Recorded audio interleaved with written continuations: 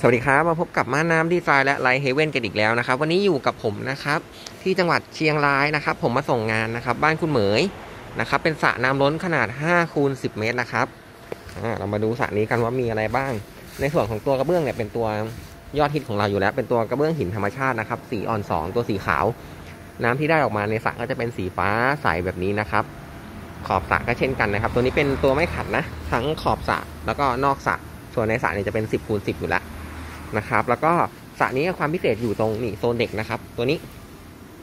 กว้าง 1.5 เมตร แล้วก็จะมีนี่ตรงนี้ทางเดินยาวนะครับ ตัวนี้ 40 เซนแล้วก็จะเป็นที่นั่งนวดจากุชี่อยู่ตรงนี้ 5 หัวเลยนะครับสระนี้เพราะว่าด้วยความกว้างของสระ5เมตรเนี่ยเราก็เลยใส่ได้เยอะนะครับ ตัวนี้